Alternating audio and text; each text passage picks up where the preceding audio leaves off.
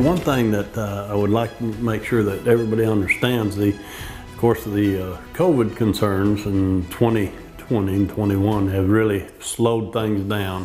And we've been working on uh, repairing and replacing some of the streets in the city, trying to get all the residents, at least all of them on a hard surface road, something we've not been able to provide for several years. And that is in the progress. We have actually are taking bids and still waiting on a couple more. People not, might not realize is the restrooms in our uh, facilities, such as our playground park down at Loberg, and we have the Hardy Beach over here. Uh, they've not had restroom facilities. We have got it in, one installed into the Loberg Park, which is working real well.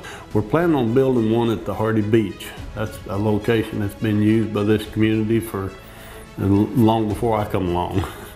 And I don't know if they've ever had one. And we're right now waiting on the concrete work to start, which could happen anytime and we are going to put a, uh, a, restroom down there similar to what's in the park. It will be built in a octagon or circle. We appreciate y'all's concern and anybody, they just need to know if they have any concerns about their community, let the city hall know. They'll get word to me and I'll get word to the council. And any question or any concern is just as important as one do you if you think it's important to you, it's important to us that we try to do something about it.